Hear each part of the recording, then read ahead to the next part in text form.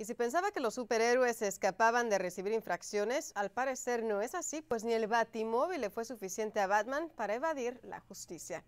Como se aprecia en las imágenes, el hombre murciélago fue detenido por la policía de Silver Spring, Maryland, ya que condució un vehículo con placas que solo portaban el emblema del superhéroe y no aquellas que el Estado requiere. Las autoridades del condado Montgomery en Maryland colocaron una serie de fotos de la detención en la red social Facebook. Así que sin duda Batman llegó tarde a su llamado del crimen. Gracias por habernos acompañado, de parte de todo el equipo que hace posible Edición Nocturna. Buenas noches. Y ahora los dejamos con el talento de Acción Deportiva Extra. Que descanse. Nos vemos mañana.